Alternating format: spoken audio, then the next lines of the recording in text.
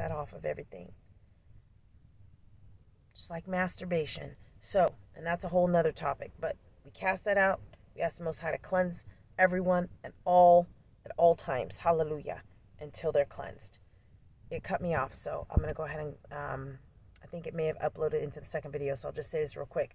And so within marriage, that's why with fornication, it takes a long time for those things to be cast off. If, if you're married and somebody commits adultery on you, you end up with spirits and all the adultery and all the things come into you. And that's you have to write to the Most High. You have to pray. You have to cast those things out.